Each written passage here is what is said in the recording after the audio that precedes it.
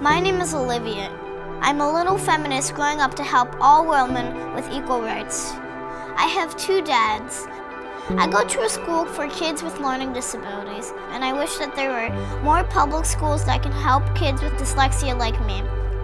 I hope you can be the first woman president of the whole United States. By the way, I'm really glad that there is now gay marriage legal all around the whole 50 states of America. I would be completely willing to help you out after school.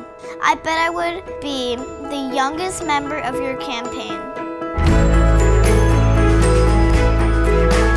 Hey everybody, say hello to our newest volunteer, Olivia.